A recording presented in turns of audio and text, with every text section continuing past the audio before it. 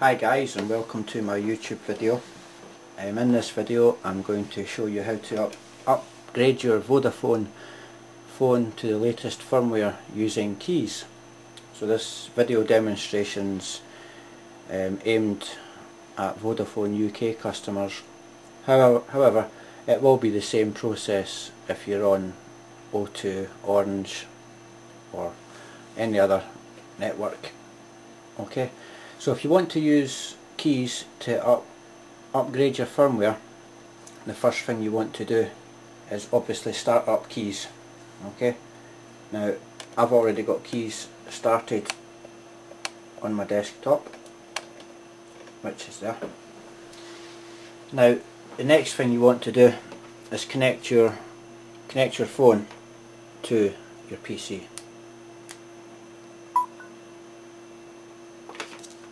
It's also worth mentioning it's better to do a, a factory days, a factory data reset prior to upgrading and um, once your new firmware is flashed onto your phone um, I would advise to do a, another factory data reset. Now as you can see there um, I've plugged my Galaxy into Kies and Kies is showing me that there's a, a firmware update. Okay if we just have a a little look at that. The, the lighting here is terrible tonight but I'll do my best to um, let you see. Now that your phone's plugged in what you want to do is um, click up update. It's probably also best to take your SIM card out. I can't remember if I took mine out on prior to making this but if you can take your SIM card out as well just to save any information getting lost. Um, it's never been lost for me in the past but just to be safe. So anyway we'll now click upgrade. Um, Samsung will just give you little bits of information. It's telling you to make sure that your battery is fully charged before upgrading which really goes without saying. Uh, my battery is um, fully charged. So if you just read through the list of um, things that it tells you there and and just tick um, I have read all the above information. If we come out you'll be able to see that and then finally if we come out a little more finally click start upgrade. Now what will happen is Samsung Kies should automatically put your phone into download mode. And we'll just OK that again. And it's now going through the going through the process. So this phone down here should start going into download mode. Complete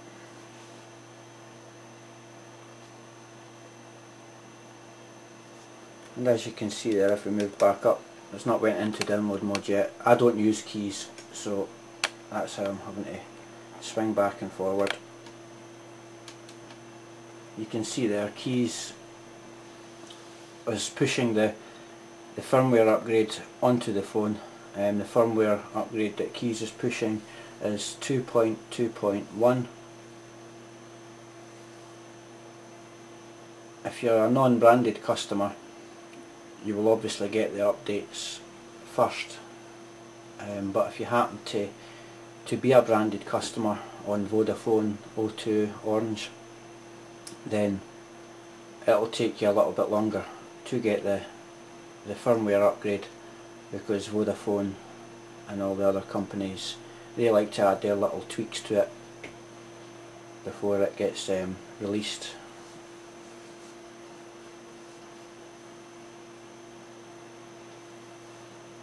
okay.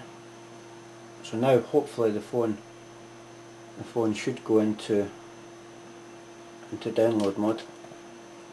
If we move back down to the phone.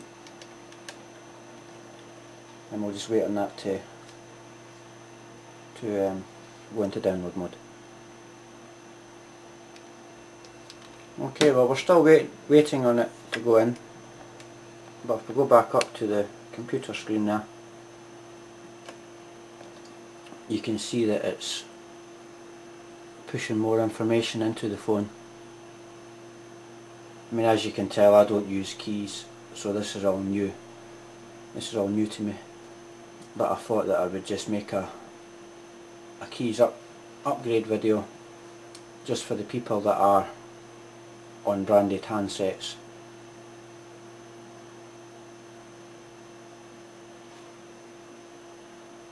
so what we'll do is we'll we'll just pause that there at the moment and we'll come back to it once it's loaded up a little bit longer.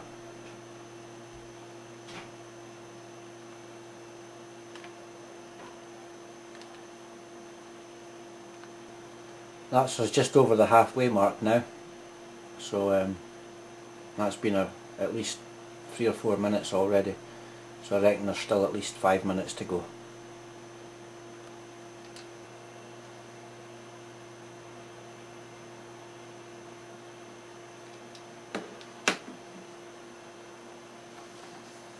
now our phone has went into download mode.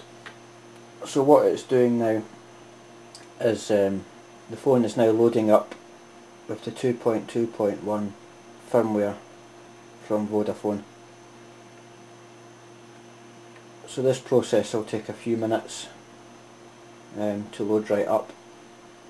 So it's probably a good time to to make yourself a cup of tea and you can see the the progress bar is moving as well.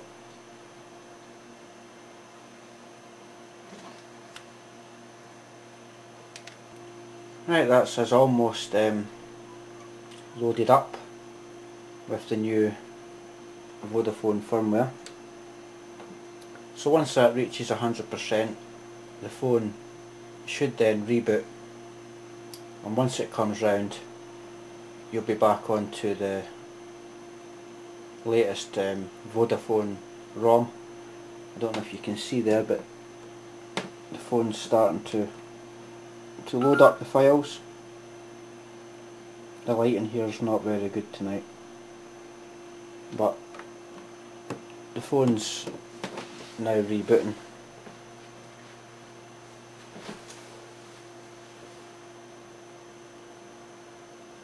if we move in a little bit. Oh it's moving out. You can now see that our phone is on the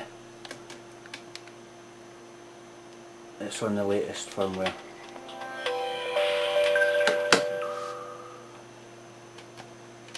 And that's it. Starting to come round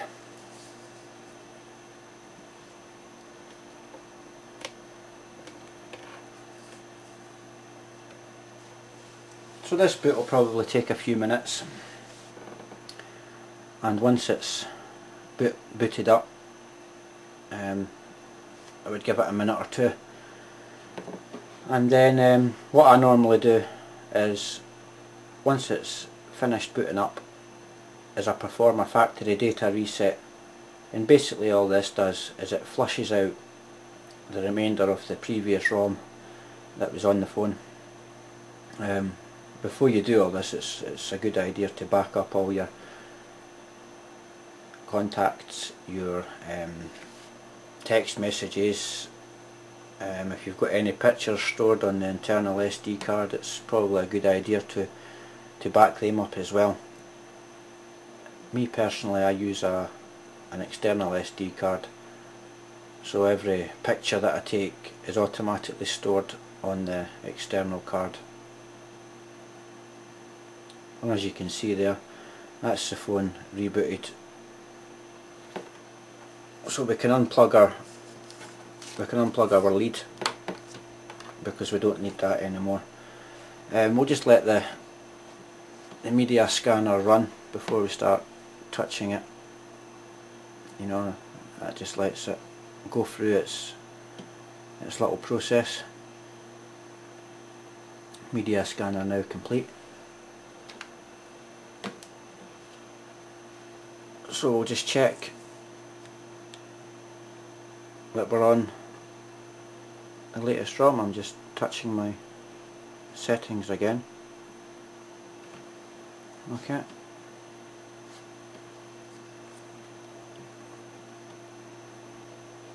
the light is quite bad isn't it? Settings. About phone.